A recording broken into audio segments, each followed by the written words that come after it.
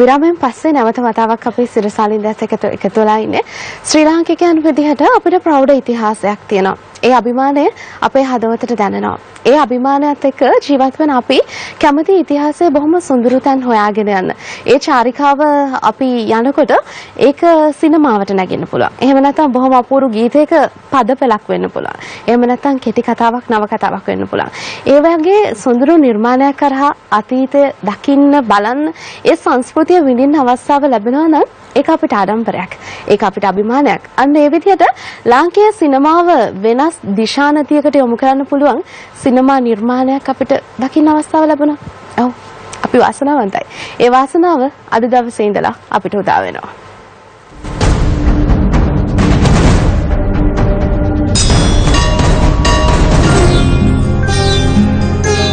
මේතා කාලයක් ඔබ රාගිසිතකින් අන්‍ය පුරුෂයෙක් දිහා ඇස් කොනකින්වත් බලානේ.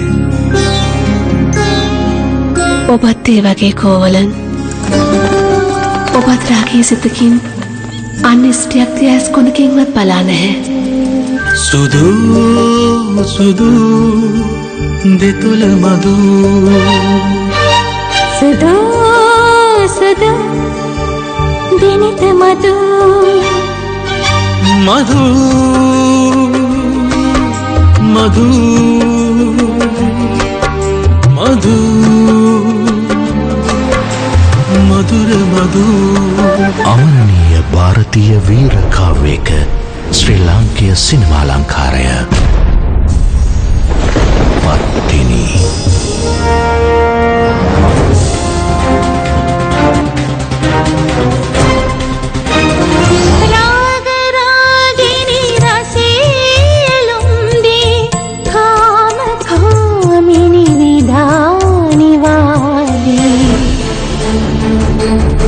පතිව්‍රතාව ප්‍රාණය සෙසුරකි නිර්මල රූබරී කන්නකි.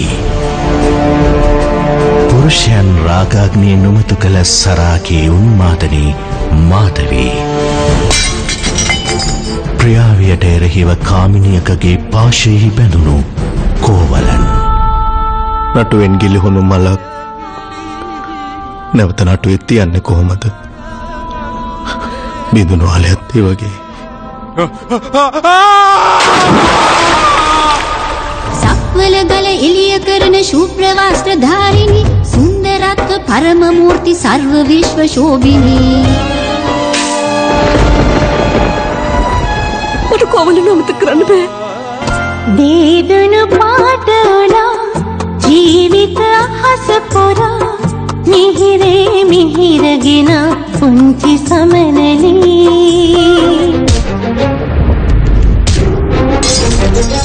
පූජා උමාශංකර අයස්කාන්ත රංගනයක. නීතිය අවනීතිය කළ ධර්මය අධර්මය කළ නුවන් රජරක මහාචාර්ය සුනිල් ආරියරත්න සිනමා ආකර්ෂණය. අහසින් පොළවට ගඟහත්තර උප්පලවන්නා වැනි සම්මානනීය කෘති හෙළ සිනමාවට පිදූ ආචාර්ය මිලිනා සුමතිපාල නවතම නිෂ්පාදනය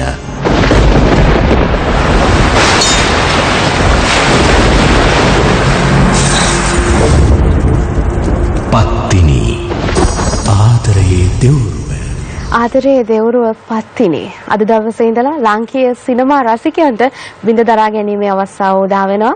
පටන් ගන්නකොටම අපි ආරාධනා කරනවා ඔබට අවස්ථාව තියෙනවා. ලංකාව පුරා සිනමා ශාලා 60කදී මේ අත්දැකීම විඳ ගන්න ආරාධනා කරනවා.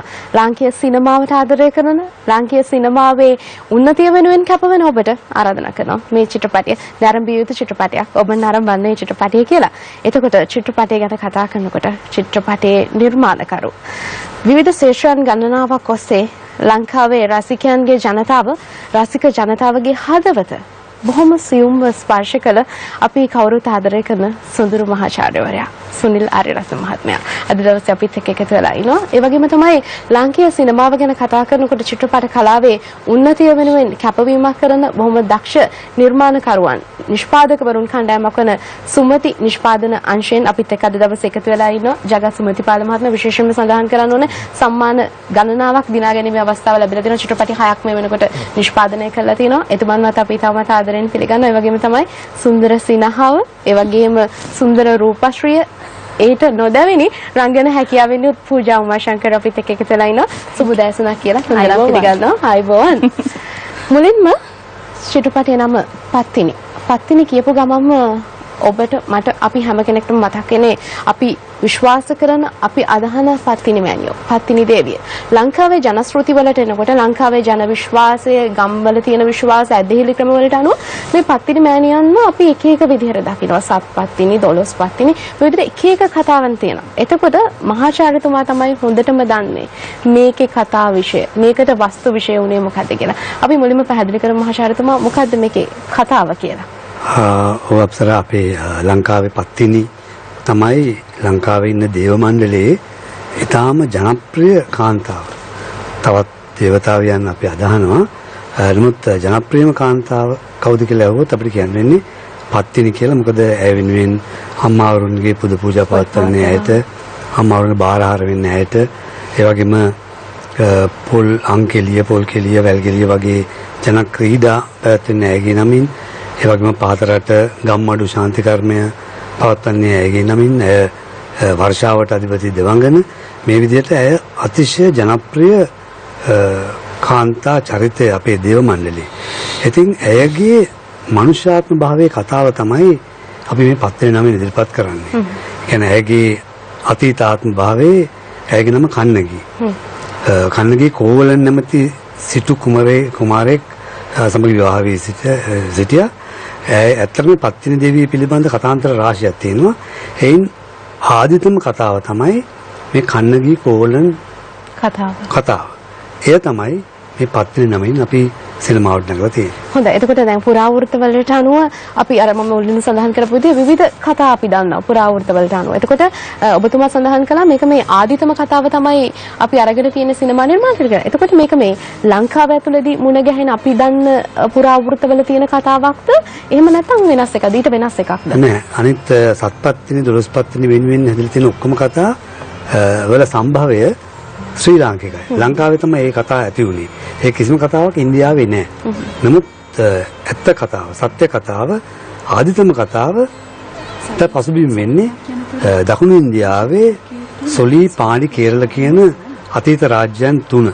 ඒ නිසා මේක පැහැදිලිවම දකුණු ඉන්දියානු පසුබිමක් සහිත කතාන්තරයක්. හොඳයි දකුණු ඉන්දියානු ආభాෂයක් සහිත කතා පුවතක් තමයි අ, මේ චිත්‍රපටය පුරාදි වෙන්නේ පත්තිනි චිත්‍රපටය. එතකොට නිෂ්පාදන දැවන්ත නිෂ්පාදන කාර්ය සුමති නිෂ්පාදනාංශයෙන් නිෂ්පාදන ආයතනයෙන් එකතු වෙනකොට සම නිෂ්පාදක ජගත් සුමතිපාල මහත්මයා තමයි එකතු වෙලා ඉන්න මාත් එක්ක.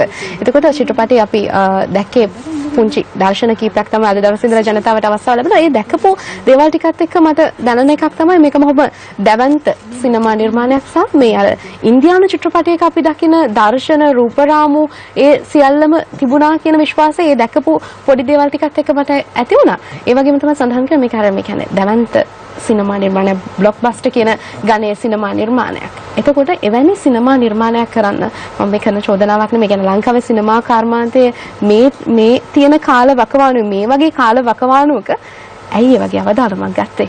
අපසර ඇත්තටම මේක බ්ලොක්බස්ටර් නිෂ්පාදනයක් ඉතාමත්ම විශාල වියදමක් කරලා කරන චිත්‍රපටයක්. ඇත්තටම ඒක අභියෝගයක්. නමුත් මා අපිට කිසිම ඒ ගැන සැ- සැකයක් නැහැ. මහාචාර්ය සුනිල් ආරත්නයන්ගේ අධ්‍යක්ෂණය මත මෙවැනි ලස්සන කතාවක් හොඳ කතාවක් තියෙන්නේ. මේ කතාව ඉතාමත්ම ආකර්ෂණීය විදිහට නිර්මාණය කරලා තිනවා. මෙය සමාජගත කරන්න පුළුවන් කියන එක අපි හිතේ විශ්වාසය. ඒ වගේම අපි මේ කර්මාන්තයට උදව් කරන්න ඕනේ. අපි චිත්‍රපට නිෂ්- නිෂ්පාදනයේ අපේ හයවැනි නිෂ්පාදනය. අවුරුදු 40කට වැඩි අපි සිනමා ශාස්ත්‍රයේ ඉන්නවා. අපි පියානම් පටන් ගත්ත මෑණියන් ගංගාද්දර අහසින් පොළවට උත්පල වන්න මේ සියලුම කාන්තාව වෙනුවෙන් නියෝජනය වෙච්ච චිත්‍රපට තමයි වැඩියෙන්ම අපි මෑණියෝ කැමති නිෂ්පාදනය කරන්නේ.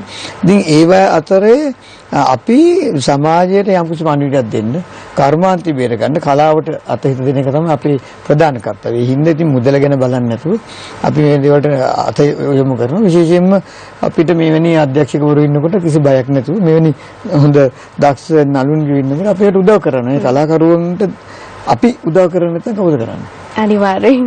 ඒ නිසා තමයි මම මුලින්ම සඳහන් කළේ මේක ලාංකීය සිනමාව වෙනස් දිශානතියකට යොමු කරන්නට සමත් වෙන චිත්‍රපටයක් බවට පත්වේවි. ඒකේ කිසිදු සැකයක් නැහැ. අපි ඔබටත් ආරාධනා කරන චිත්‍රපටය නරඹන්න කියලා. එතකොට පූජා පූජා උමාශංකර් අපි විවිධ චරිත හරහා ඔබව හඳුනාගත්ත කාලෙකදී බොහොම සොඳුරු යෞවනියකගේ චරිතය අපි ඔබෙන් දැක්කා. ඊට පස්සේ තවත් කාලෙකදී ඓතිහාසික වටිනාකමකින් යුතු කුසපබා වගේ අ, චිත්‍රපටයක අ, චරිත රාජකුමාරිකගේ චරිතය නිර්මාණය නිය- ඔබ රංගනයෙන් එකතු වෙනවා අපි දැක්කා.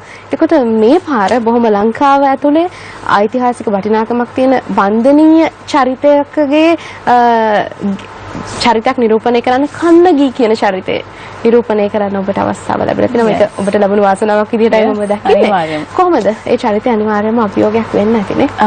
yes නංගි අප- අප්සරා මං කියන්න ඕනේ ඒක අ, අනිවාර්යයෙන්ම මං ඉස්සෙල්ලා පත්තිනි දෙවියන්ගේ කතාන්දරය ඇත්තටම මං දන්නේ නැහැ. හරිද? කන්නේ ගැන හැබැයි දැනගෙන හිටියා. ගොඩක් නෙමෙයි just that you know she was a very virtuous woman. ඊට පස්සේ එයා නිසා මధుරේ ගිනි ගත්තා කියලා. ඊට පස්සේ චෙන්නයි ගිහිල්ලා if you see um you know in chennai අර එයා අර සෙලම් සෙලම්බ නේද සර් සලම්බ සලම්බත් එක්ක ස්ටැචු එකක් තියෙනවා. Black color statue with the සෙලම්බ පාසනබත් එක්ක. So අපි මං ඒ ගැන ගොඩක් i just know. අපි ගාන්ධීජී statue තියෙනවා එයාගේ statue තියෙනවා. So ඉච්චරයි මං දැනගෙන හිටියේ මේ පත්තිනි කියලා කියනකොට සර් කිව්වා කන්නගියන් කෝවලන් ස්ටෝරි. එතකොට මම Tamil Nadu when I went to Chennai last I mean ඒ ෆිල්ම් පටන් ගන්න ඉස්සෙල්ලා තමිල්නාඩු ගිහිල්ලා I heard that there's already a film Tamil Nadu වල long time back 1930s ද කොහෙද නේද සර් 40s වල කන්නගි ගැන already one film හදලා ඉවරයි කියලා. මං හොයි I searched a lot. I went to all the DVD stores හැබැයි ගන්න බෑ CD. ඉවරයි. It's out of stock all the time. හරිද? ඉතින් ඊට පස්සේ තමයි sir said you don't have to search for that CD. ඔයා එන්න. මං කියන්නම් කතාන්දරේ කතාව. කියලා. India story මම දැනගත්ත සුනිල් සාරා. I was thinking not bad. ඉතින් but I අප- මේ අ, මං හිතන හැටියට sir කිව්වේ මට ඒ ස්ටෝරියු මනිමේකලා ස්ටෝරියුයි දෙකම එකතු කරලා තමයි කරලා තියෙන්නේ. ඒක නිසා you have different characters. අපි original tamil film වල මේ characters මනිමේකලා ඔක්කොම තිබුණේ නැහැ නේද sir? මේ ෆිල්ම් වල ඒ ඔක්කොම තියෙනවා. එතකොට කොහොමද ලංකාවට ඒක සම්බන්ධ වෙන්නේ කොහොමද ඒක ලින්ක් වෙන්නේ කියලා මේ ෆිල්ම් අතරේ බලන්න පුළුවන්. ලස්සන ලස්සනට හදලා තියෙනවා. ඔව්. අපි ඒක දකින්න ඒ නිසා තමයි අපි නැවත නැවත ඔබට ආරාධනා කරන්න මේ සිනමා පට නැරඹිය යුතු සිනමා පට. අපිට තව බොහෝ දේවල් කතා කරන්න තියෙනවා. අපි ඒ හැම දෙයක් පිළිබඳවම කතා කරනවා. මොකද අපිට දැනගන්න බොහෝ දේවල් තියෙනවා මේ සිනමා නිර්මාණය පිළිබඳව. හැබැයි ඊට කලින් අපි යන්න පුංචි විරාමයකට විරාමයෙන් පස්සේ නැවත වතාවක් අපි කතා කරනවා ආදරේ දෙවරුව පත්තිනි ගැන.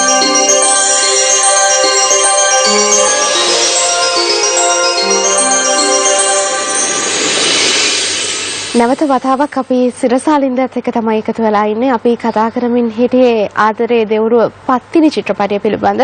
අද දවසේ තමයි ප්‍රථම මංගල දැක්ම. අද ඉඳලා ඔබට පුළුවන් ලංකාව පුරා තියෙන සිනමා ශාලා 60කදී මේ අත්දැකීම විඳ ගන්න. අපි ආරාධනා කරනවා චිත්‍රපටය අනිවාර්යයෙන්ම නරඹන්න කියලා. එතකොට මම මහාචාර්යතුමාගෙන් තමයි මේ ප්‍රශ්නේ අහන්නේ. අපි ඔබතුමා කිව්වා මොකද්ද කතාවට පාදක වුණේ මොකද්ද කතාපුවත කියන එක කෙටියෙන් සඳහන් කළා. එතකොට විශේෂයෙන්ම දැන් අ, තියෙන පැරණින්ම කතාව තමයි අරගෙන තියෙන එක මේක දකුණු ඉන්දියානු ආభాෂයක් තියෙන කතාවක් කිව්වා මීට කලින් මහාචාර්යතුමා කියන්නේ මේක කතාවට හෝ ගීතයට හෝ කියන්නේ යම්කිසි කලා නිර්මාණයකට අරගෙන තියෙනවද මීට කලින් මේ ඔව් කතාව දැන් අපේ සින්දු වල අ, මගේ ගීතවල නෙමෙයි නමුත් වෙන අත්හැලියු ගීතවල මේ කෝවලන් කියන චරිතයේ නම කියවෙලා තියෙනවා. කන්නගී කියන චරිතයේ නම කියවෙලා තියෙනවා. එතකොට නාට්‍ය මිනිසලම කියලා නාට්‍යයක් කරලා තියෙනවා.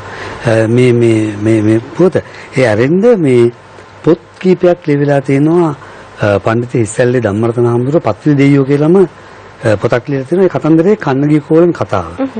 එතකොට ආචාර්ය එම්.එච්. පීටර් සිල්වා කියලා කෙනෙක් නුරුවලා තෙද නුරුවලා කියන්නේ පාසලම ඒ පාසලමේ තේජස කියන අර්ථයෙන් පොතක් ලියලා තියෙනවා. තව අමරකෝන්ගම දසනායක කියලා කෙනෙක් මේ වගේ අපේ සිංහල සාහිත්‍යයේ මේ කතාන්තරය මිට කලින් ලියවිලා තියෙනවා.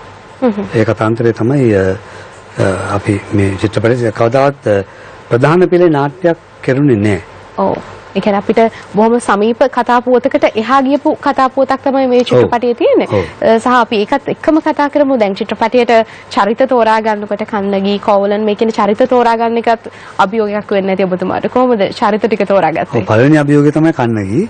මම මම කුසබබා කරනකොට ඒ ඒ තිර තිස්සා විශේෂයකට මගේ අතට දෙනකොට තිස්සා විශේෂයකට මාත් දෙන්නම කතා වුණේ මේක අපි පූජාව දාමු මේ පබාවතිගේ චරිතය කියලා. මේ කතාන්තරේ ලියනකොටත් මේ පිටපත මම ලිව්වේ ලියන කොටත් පූජා මේ. පූජා තමයි මේ කන්න ගියේ චරිතය ක- කරන්න ලයි. ඒතකොට ඒකද පූජා කියයි. හරි. අපි පූජාගෙන තහන්න ගොඩක් දේවල් තියෙනවා අපිට විසඳ ගන්න. මොකද පූජාගෙන පහුගිය කාලේ එක එක જાති ආරංචි ආවනේ. ඒ හින්දා ඒ දේවල් ටික විසඳ ගන්න. හැබැයි ඊට කලින්ම මම ජගත් මහත්මයාත් එක්ක තමයි කතා කරන්න. කිව්වා අධික වියදමක් දරලා කරපු දැවන්ත සිනමා නිර්මාණයක් කියලා. මොකද ඒ දැවන්ත ගතිය අර දැකපු පොඩි රූපරාමු කීපයේදී අපිට ද- දකින්න ලැබුණා. මොකද අපි ඒ වගේ දැවන්ත සිනමා නිර්මාණයන් දකින්නේ අ, ඉන්දියාව තුලදී අපි එවැනි දැවන්ත සිනමා නිර්මාණ බල බල කියනවා ලංකාවේ මේ වගේ චිත්‍රපටයක් හැදුනා නම් කියලා කියනවා. ඔන්න හැදිලා තියෙනවා. උත්තරයක් හම්බ වෙලා තියෙනවා. කියන්නකෝ මේ අභියෝගය කොයි ආකාරයෙන්ද බාරගත්තේ? ඇත්තටම දෘශ්‍ය ප්‍රයෝග ඒවා මේක හුඟ- හුඟක් හොඳට හද අරන් තියෙන වගේම ඒ ලොකේෂන් සියලුම දේවල් ඉතාමත්ම හොඳට හොඳ කැමරා හැම අතින්ම ඒ වගේ ඉහළම මට්ටමේ තාක්ෂණය උපයෝගී කරගෙන තමයි මේ චිත්‍රපට නිෂ්පාදනය කරලා තියෙන්නේ. ඒක තමයි අපේ අධ්‍යක්ෂකතුමාගේ අවශ්‍යතාවය. උනේ ඉතින් අපිටත් ඕන වෙන උපරිම මට්ටමින් මේ වෙන නිර්මාණයක් කරන්න. අපි අපි කරපු චිත්‍රපට වලින් ගංගාදර ගත්තම ගංගාදර කියන්නේ ලංකාවේ වැඩිම සම්මාන දිනාගත්ත චිත්‍රපටය මේ තාක්. සම්මාන 21ක් දිනාගෙන තියෙනවා. ඒක සම්මාන වගේම කමර්ෂල් පැත්තෙනුත් ඒක ඉතාමත්ම සාර්ථක වුණා. මට පේන්නේ මේ වගේ චිත්‍රපටයක් කියලා තමයි පත්තිනි චිත්‍රපටියත්. ඒ වගේම අහසින් පොළොවට ඇක්නටන් සම්මානය කයිරෝ ෆෙස්ටිවල් එකේ තුන්වෙනි ලෝකයේ හොඳම සම්මානයට පවා ජාත්‍යන්තර- පාත්‍ර වුණා. තුන්වෙනි ලෝකයේ තියෙන හොඳම සම්මානය. දිනාගත්තේ අහසින් පොළොවට චිත්‍රපටයේදී. ඒක. තාත්තා ඉන්න කාලේ හදපු චිත්‍රපට දෙකක් ඊට පස්සේ නටුවේ ඒ කියන්නේ ගංගාදර අපේ අම්මා ඉන්නකොට ආරම්භ කරේ ඊට පස්සේ දුවට මාවක මිස ඊට පස්සේ ඒවා බඳුන පිරිස් මහත්තයා සහ සුමිත්‍ර පිරිස් මහත්මිය තමයි අධ්‍යක්ෂණය ඊට පස්සේ අපි උත්පලවන චිත්‍රපටයට යමු වෙනවා මහාචාර්යතුමාගේ අධ්‍යක්ෂණය. අධ්‍යක්ෂණය ඒකත් සම්මාන විශාල ප්‍රමාණයක් දෙනකත් ඉතාමත්ම කලාත්මක චිත්‍රපටය මේ අපේ හයවෙනි නිර්මාණය. ඉතින් අපි හැමතිස්සෙම චිත්‍රපට තෝරාගන්න මම ඉස්සෙල්ලා කිව්වා වගේ කලාත්මක සමාජයට දෙන්න පුළුවන් කතාවක් හොඳ අරුතක් තියෙන දෙයක් කරන්න. ඉතින් එතනදී දැන් අපි චිත්‍රපට කර්මාන්තේ නියලී. මේ වගේම සුමුදු සම්මාන උළෙල තුලින් ටෙලි සම්මාන පවත්වලා හැබැයි ටෙලි නාට්‍ය ගහන්න නිෂ්පාදනය කරන්නේ නැහැ. මොකද අපි ඒකේ සම්මාන දෙන පැත්තේ ඉන්න හින්දා. නමුත් අපේ යොමු තියෙන්නේ නිෂ්පාදනය කරන්න චිත්‍රපට. මොකද මේ කර්මාන්තයේ නගා සිටුවොත් තමයි රූපවාහිනී වලටත් සියලුම දේවල් වලට යන්නේ. මොකද මේ රංගනය ටෙලිග්‍රාම් එකක් කරන්න බෑ. ඒ ඉතින් ඒ හින්දා ඒ හොඳ කලාකරුවෝ බිහි වෙන්නේ එතන. ඒකට අතහිත දෙන එක, ඒ සහාය දෙන එක අපේ සමාජ වගකීමකට හිතනවා. ඒතල තමයි සියලුම දේවල් කරන්නේ. ඉතින් මම හිතන්නේ මෙවරත් මම හුඟක් සතුටු වෙනවා අපේ අම්මා ඉතාම සතුටුයි මේ මොකද කාන්තාව වෙනුවෙන් කරන්නේ. දැන් කාන්තාව කාන්තාවකගේ කැපවීම පරිත්‍යාගය දෙවඟනක් බවට පත් වෙනවා. කන්නගී කියන්නේ. ඉතින් ඒක මම හිතන්නේ කාන්තාලෝකයේ අපේ රටේ ඉන්න ලොකු අභිමානයක් වෙන මේ චිත්‍රපටයේ. සෑම කාන්තාවකගේම කතාව මෙතන තියෙනවා.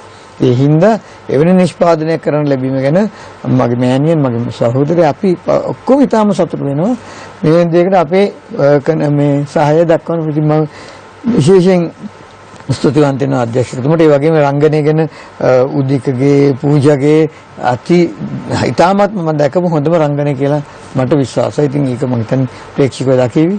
ඉතින් මම හුඟක් සතුටු වෙනවා. ඔව් උද්දික ප්‍රේමරත්න ඒ වගේම තමයි පූජා උමාශංකර් අරුණි ජයවර්ධන ඒ වගේම තමයි ලංකාවේ අ, සිනමාව රංගනය ගැන කතා කරන බොහොම ප්‍රවීණයන් අතින් හැඩවුණු සිනමා නිර්මාණයක් විදිහට බොහොම දැවැන්ත සිනමා නිර්මාණයක් විදිහට පත්තිනි චිත්‍රපටය හඳුන්වා දෙන්න පුළුවන් ඔබට අවස්ථාව දෙන අපි පුංචි දර්ශන කිපයක් නරඹන්න. හැබැයි ඔබට පුළුවන්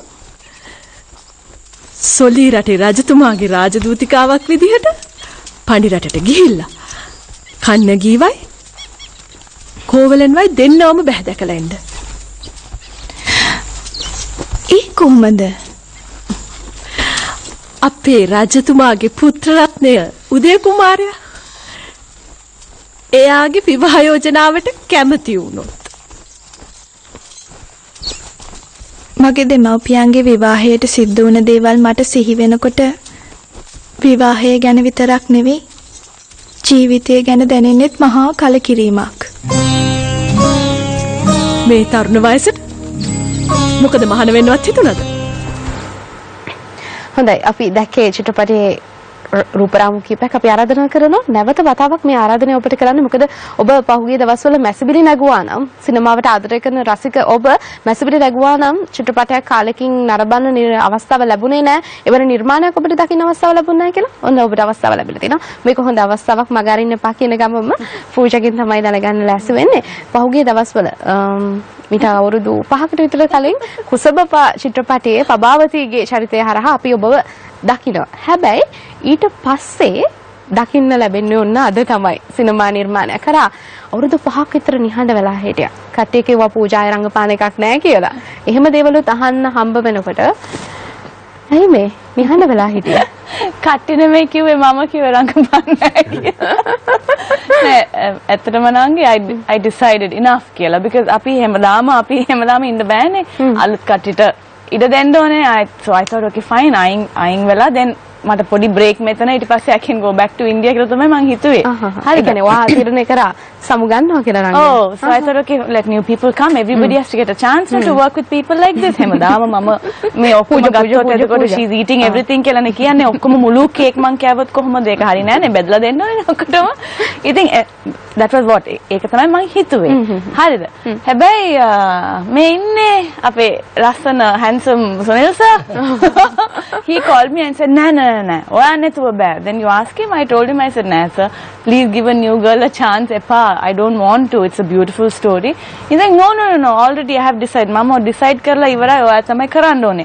ඔයා so I, then ඊට පස්සේ then I didn't know මොකද්ද කියලානේ so මං කට වහගෙන ෆෝන් ඔක්කොම switch off කරලා හිටියා thinking okay after some time ඒක අපෝ මෙයා නම් හරි ආඩම්බරයිනේ මේ ෆෝන් උත් ගන්න නැහැ නේ කියලා ආ ආ ඒත් මට කෝල් කරලා කොහොම හරි මගේ අම්මා හරහා සීහා හරහා එවිලා ඉතින් මගේ ඩේට්ස් ගත්තා ඉතින් මෙන් මේ වගේ ලස්සන hina වෙලා අනේ පූජා කරන්නකෝ කියලා කෙනෙකුට කොහොමද refuse කරන්නේ පූජකව මම කේරළෙන් ගෙනත් දෙන්නම් කියන්නේ. කර්ණාටකයෙන් කෙනෙක් ගෙනත් දෙන්නම්. හැකියවනේ. පූජා බාරගත්තා. මට. මම මට උන්නේ ඔය වාසිය කතා කරේ මට කේරළෙන් කෙනෙක් උඩෙත් නෑ. කර්ණාටකයෙන් කෙනෙක් උඩෙත් නෑ. ඔයා කරන්නේ නැත්නම් නිකන් ඉන්න කියලා. ඔව්. මොකද? මෙහෙමයි නංගි. අපි ආදරය කරන කට්ටිය අපෙන් අහනකොට කොහොමද අපි බෑ කියලා කියන්නේ නේද? so it, that's exactly what happened. I like him a lot i love him a lot and i i respect him a lot. ඒක ඒ තුනකට. Because i like love and respect him i decided to do this film. එච්චරයි. ඔව්.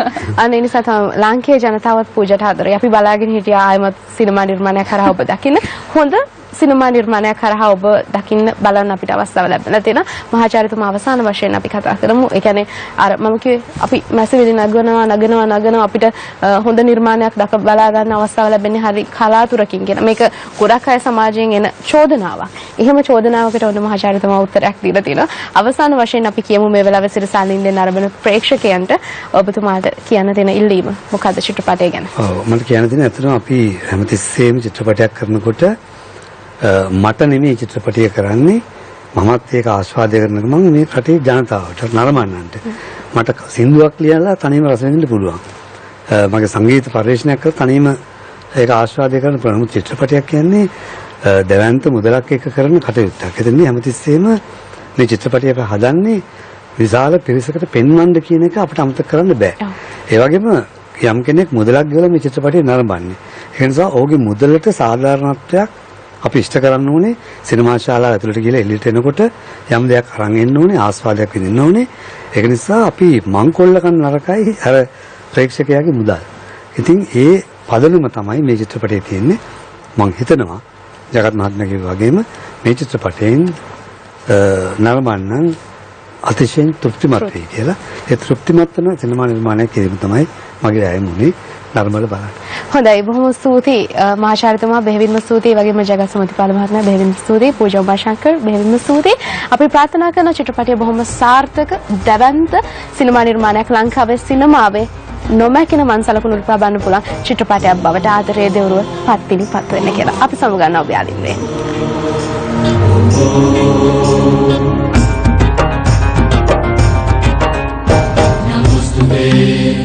नमोस्तु सरस्वती शारदा। नमोस्तु ते नमोस्तु ते श्रीमती शारदा।